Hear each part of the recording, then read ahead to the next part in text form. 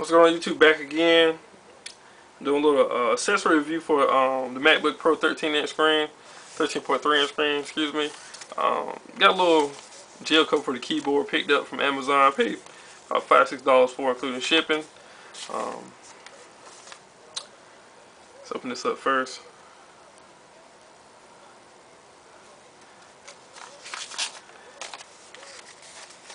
Just bought this uh, just cause you know protect the keys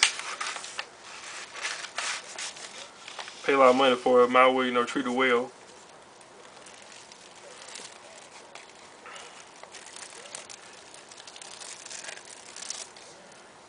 Here's the uh, the keyboard thing itself.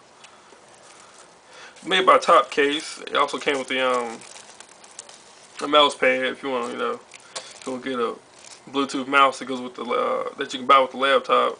Came with a little case for. It. I mean, mouse pad, excuse me. In my top case, just picked it up, you know, add a little color, you know, a little customization to my laptop. And you see the um the letters and numbers and symbols and stuff are uh, white, see-through. It's more, it's a silicone little cover. Try it on here, see how it fits.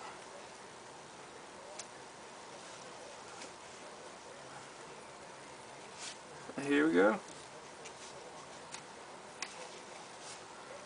Now imagine after a while, you know, leave it on here for a while, you know, it'll fit more to the keys itself on the keyboard.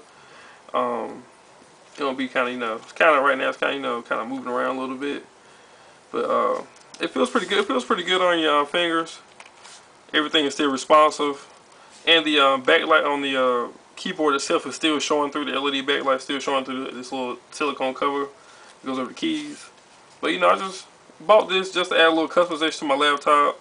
Um, be different from everybody else. You know, it also protects your keys from scratches and whatever.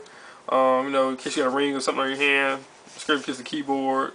You know, so just um, protect it from dust and everything. And that's about it for this review. Just pick this up. It does cut. It comes many. It comes in many colors as well. And just go and check it on Amazon. It's made by um, Top Case. It took like two days for it to get here, shipping.